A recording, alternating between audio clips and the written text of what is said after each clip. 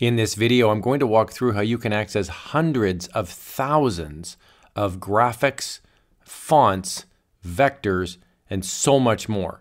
Let's jump in.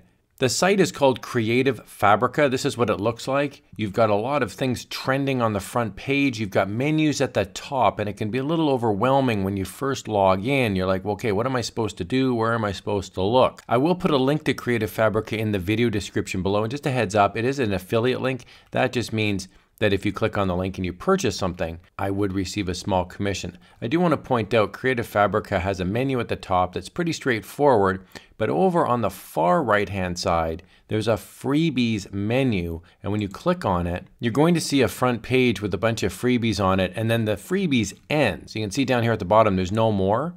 I want to point out on the top right of this page, right here, you can view all 286,000 freebies by clicking this link. So I'm going to walk through first how you can download a graphic for use in print on demand or if you're using it for graphic design, that kind of thing. So I'm going to scroll on down here and I'm going to see if I can find a good looking graphic. And we can see right here we've got free 20 Halloween t-shirt bundle. When I click on it, this is going to come up. Now I'm not even logged in to Creative Fabric at this point, but you can download this for free. When you click on it, it will ask you to log in. Okay, so when you click on the link to any of the free assets, you're gonna see this big green download button. Now I've logged in, so everything on the website is going to have no price attached to it. You're just gonna see I can just download anything, but you'll see here, this is free, this is part of the freebies. I'm gonna click the download button. You can see here now when I click on the download, it's gonna give me a compressed folder that I can download. When I click save, it's going to start downloading now in your web browser.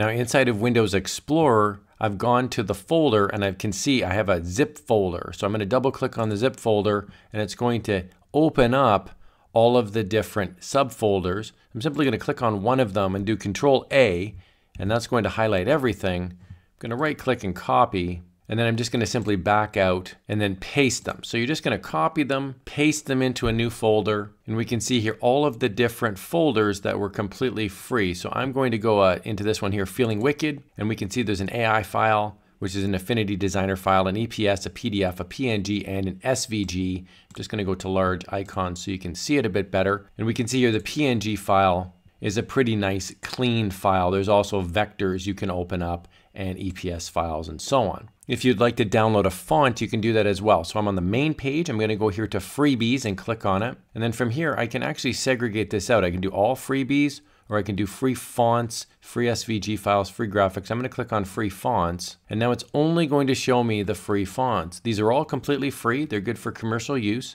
I'm going to scroll on down and find a good looking font. All right, I like this one here, this neon sign. I'm going to click on it. So here's the neon sign font. You can see there's some cool thumbnails. I'm going to click on this download button right here. Okay, now I'm inside of Microsoft Explorer. I'm going to double click on my zip folder. And I'm going to see that I get two different types of fonts, an open type and a true type.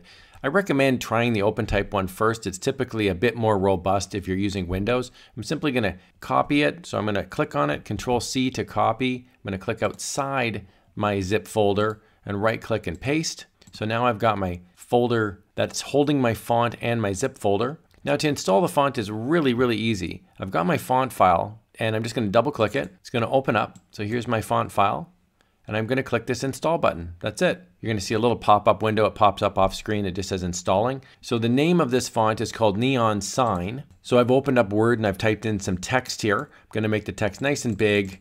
And now I'm going to select my font. And we can see Neon Font Sign right there. That looks pretty nice. When you're in the freebies section on Creative Fabrica, you can also look for free SVGs. So I'm going to click on that. Now it will filter out. I've got about 740 SVG files. And the reason I like SVG files is they're really clean to use on t-shirt graphics or for graphic design. So here I've got You Are My Cup of Tea. You can see a nice little mock-up and I'm going to click on the download button and it will open up a compressed folder same as before. I'll click Save. Now inside Microsoft Explorer here I've got my compressed folder. I'm going to double click it. It'll open up a file folder and inside that file folder I've got a couple different vector files there's a PNG file as well, and then a couple different vectors. So I'm simply gonna highlight everything, Control C to copy. I'll get outside of my folder, I'll paste. So now I'm inside of Inkscape, and Inkscape is a free vector tool. You can download it for free from inkscape.org. Very easy to use. I'm going to go here to File and Open. I'm going to open up my vector. Okay, so inside of my SVG folder, I'm now looking for my SVG file. It says here on my computer Microsoft Edge HTML document. I'm going to click Open. And we can see now this is my vector. When I click on it, I can go into Edit Paths by Node and I can see this is an actual true vector. I can move the vector nodes around and I can make this great if I'm using a Cricut machine or some sort of a silhouette cameo. Or if I just want to make a very clean t-shirt graphic, I can modify these as needed. Now imagine if you access the images, I've got all these different graphics, PNGs, mockups, cartoons, and so on.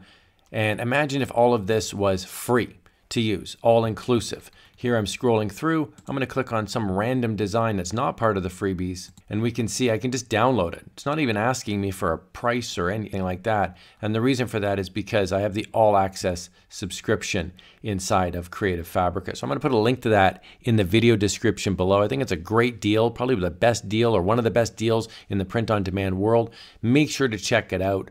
Lots of free items so you can really wet your whistle inside of Creative Fabrica. I hope you found this helpful. Don't be intimidated because it's a big website with lots of stuff. You can access a ton of free items and have a ton of fun doing graphic design and working in print on demand.